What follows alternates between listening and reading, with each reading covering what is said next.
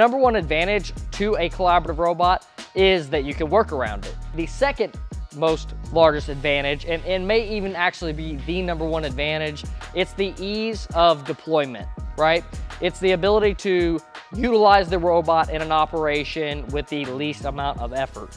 So almost anybody can walk up to a collaborative robot, be able to drag it down, teach a point, uh, drag it back up to another point and teach the robot. Now, one thing that I do have to advise that equip this robot with the proper tools. And the ones who are trying to drive the decision to utilize collaborative robots, they need to ensure that these robots are equipped with the right tools. Some of those tools may be vision systems for vision location, a welding operation, it might be seam identifier or seam tracking technology.